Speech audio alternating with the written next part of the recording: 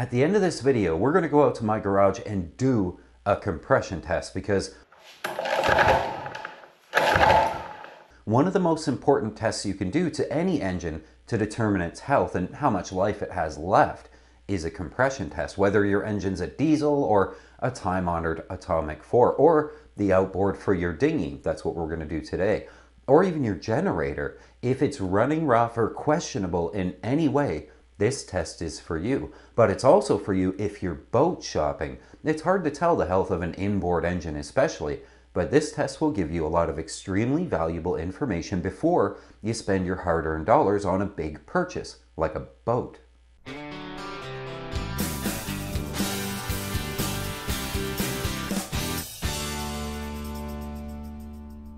Philip Decker, who writes for us, fills us in on how easy this test really is. I'll leave a link in the description to the full article if you want to follow along. An engine compression test, he says, is an important diagnostic test that any boat owner can do with equipment that costs about $50. You can also rent a compression tester most places.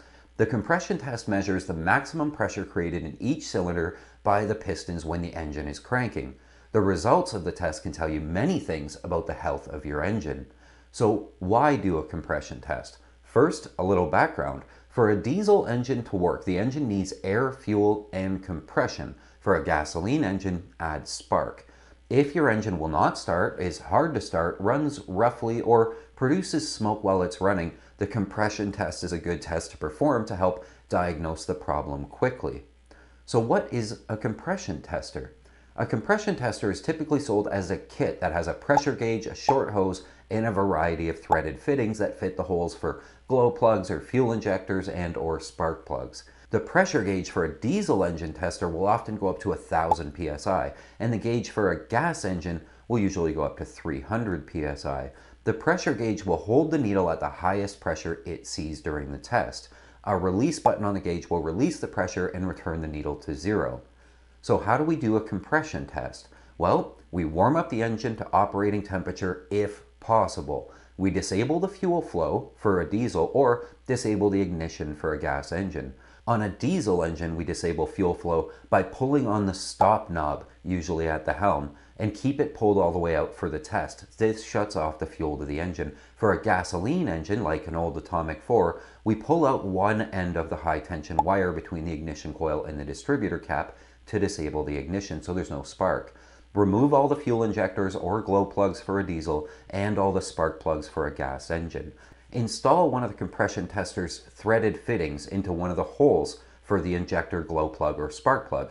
Crank the engine for 6 to 8 revolutions. The pressure gauge will automatically hold the needle at the highest pressure setting that it saw. Record the pressure for that cylinder. Then press the release button on the gauge to return the reading to zero. Repeat that for each other cylinder.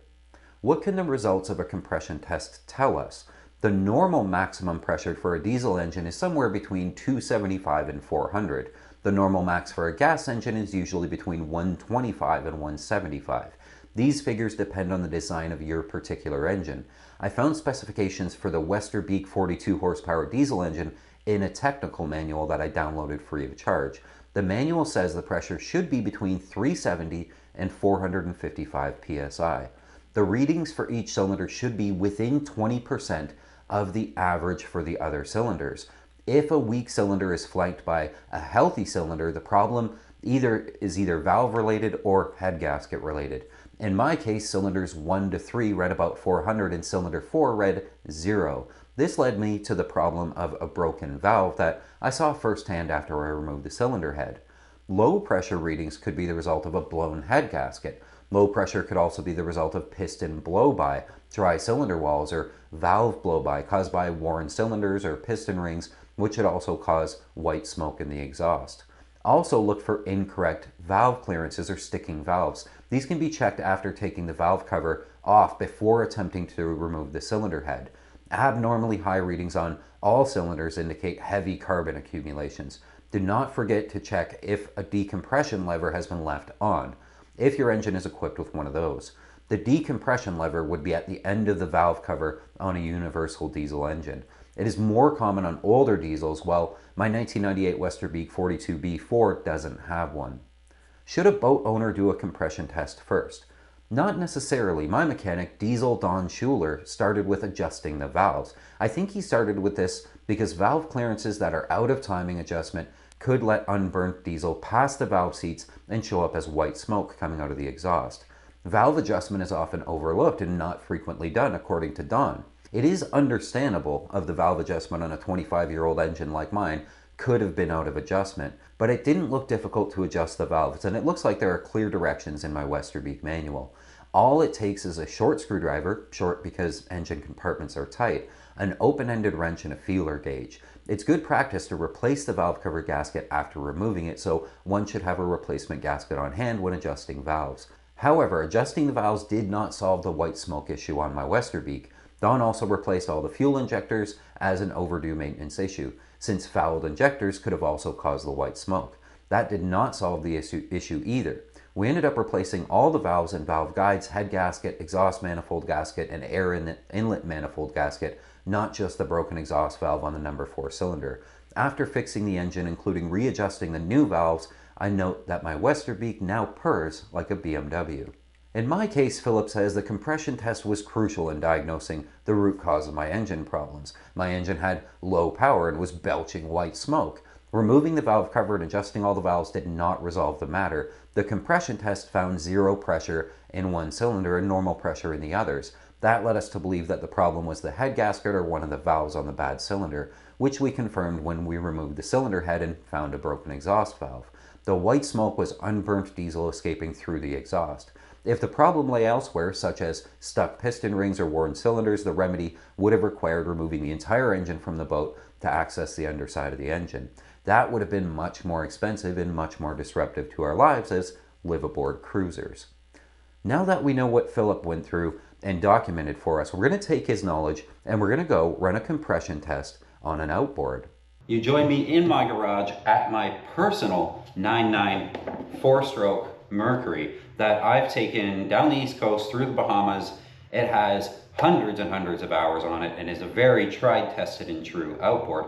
But I've never done a compression test, and while Phil tells us to do it with a warm engine, that's not going to be possible. And in many cases for you, it won't. But let's see what we come up with. We, of course, do have a compression tester on hand, and this is what they look like. I own this one. It was about 50 bucks on Amazon, but it comes with the pressure gauge with the release button that Phil was talking about, and a number of fittings to screw into a spark plug hole or a glow plug hole or whatever sort of hole your engine has into its cylinders. Now this Mercury is obviously a two cylinder outboard, so we have two spark plugs. We're gonna disconnect the leads so that there's no spark going to the engine.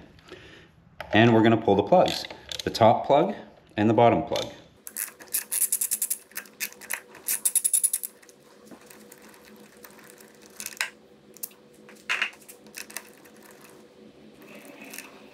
Now, as Phil said, we're gonna thread in the hose that comes with the compression tester, but I just realized this is far too big for that spark plug hole, so we're gonna try an adapter first and try to find the right one. We wanna be very careful not to cross thread this or have it go in weird in any way.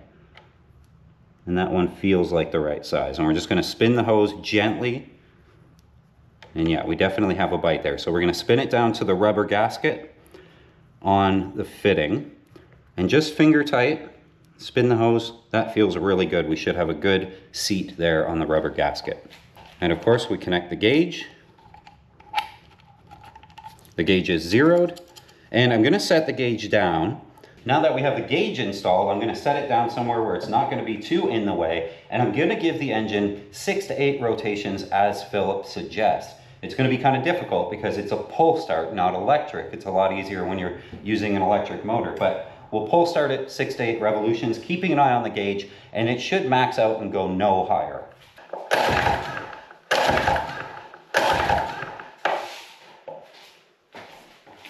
And what we're seeing is the peak on this gauge is about 158 or 160. We're gonna try the other cylinder now.